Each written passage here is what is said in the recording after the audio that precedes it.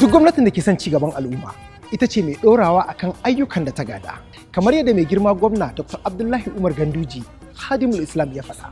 Gwamnatinsa ta ɗora akan ayyukan da ta gada. Wannan gadar ita ce gadar da ke kan Murtala Muhammadu. Gwamnatin da ta gabata ta yi kashi 25 na wannan aikin. Wannan gwamnatin kuma ta ƙarasa kashi 75. Sannan ta ƙawata gadar ta hanyar sa fitilu masu kaman hasken rana. Wannan ita ce gadar da tsawonta ya kai kilomita biyu. Sannan kuma a duk faɗin Najeriya babu gwamnatin jihar da ta gina gada irin wannan. Sannan aka yi wa gadar lakabi da sunan shahararren ɗan kasuwan nan Alhaji Aminu Alhassan ɗan tata. Ina 'yan kasuwar sabon gari, ina 'yan kasuwar galadima, ina 'yan kasuwar singa, ina 'yan kasuwar wafa, ina 'yan kasuwar 'yan kura, ina 'yan kasuwar bata, ina 'yan kasuwar 'yan kaba. Ku fito kwanku da kwarkwata ku ranar zaɓe ku zaɓi gwamna mai adalci Dr. Abdullahi Umar Ganduje, Hadimul Islam. Ni ne Ali Nuhu nake isa muku da wannan sabon.